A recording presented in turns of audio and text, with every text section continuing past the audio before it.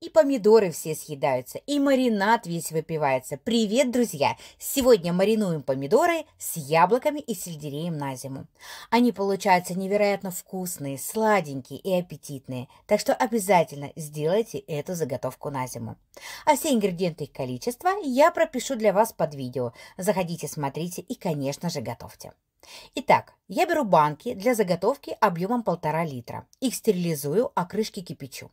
Начинаю заполнять банки. В каждую банку кладу черный перец горошком, душистый перец и по два зубчика чеснока. Так как у меня зубчики чеснока очень крупные, я их разрезаю на несколько частей. Кладу по 2-3 веточки сельдерея и далее каждую банку заполняю ровно до половины помидорами. У плодоножки каждой помидоры делаю несколько проколов.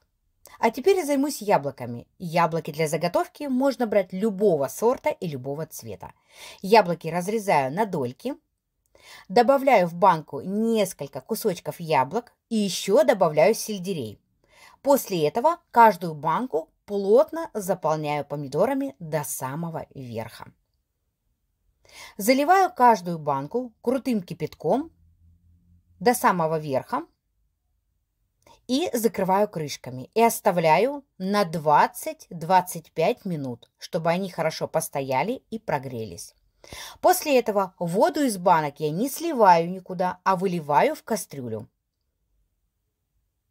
Итак, друзья, сейчас я вам скажу расчет, сколько мне нужно добавить сахара и соли на 1 литр воды. Итак, на 1 литр воды я добавляю 1 столовую ложку соли, 4 столовые ложки сахара. Так как здесь у меня 2 литра воды, я все умножаю на 2. Хорошо перемешаю, чтобы соль и сахар полностью растворились. После этого воду ставлю на плиту и жду, когда маринад закипит. Проварю 2-3 минуты. Сюда добавлю 50 мл 9% уксуса из расчета на 1 литр воды. Так как у меня 2 литра воды, я влила 100 мл 9% уксуса.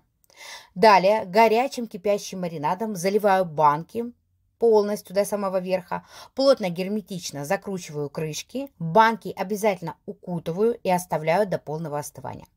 Друзья, такая заготовка отлично хранится всю зиму при комнатной температуре.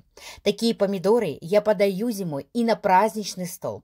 Они получаются ароматные, сладенькие, аппетитные.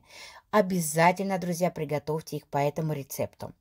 И потом напишите мне свой комментарий, понравились они вам или нет. Давайте, друзья, готовить просто, вкусно и доступно. Готовьте, как я, готовьте лучше меня. И всех я вас жду на моем Дзен-канале и в Телеграм-канале. Подписывайтесь, все ссылки под видео. Всем пока!